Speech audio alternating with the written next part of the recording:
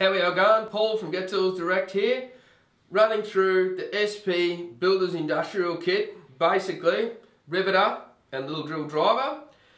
Had a few customers who have bought these and they've been bloody rapt with them, so I thought I'd let you guys know because obviously this is where you want to get all your updates on new tools.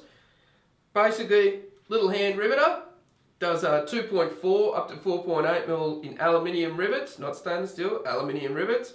So pretty much for any fascia or guttering application, it is ideal. A couple of customers I've already had absolutely bloody love the thing. So as I said, anytime you're doing any normal riveting and so forth, you've got one to do the drilling with and one to do the riveting with.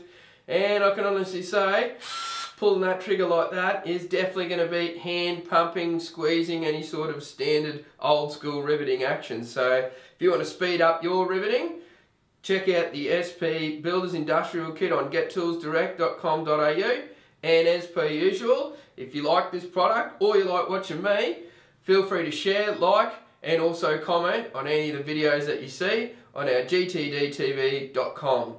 Well, I've been Paul. This has been a riveting conversation, I must say, but I'll check you out soon. Take it easy.